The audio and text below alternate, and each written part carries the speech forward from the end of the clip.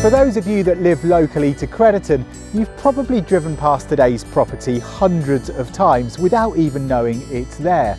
Opposite Newcombs Park and just a short walk up to Crediton High Street, Sarum House is a beautiful detached four bedroom family home here in the town.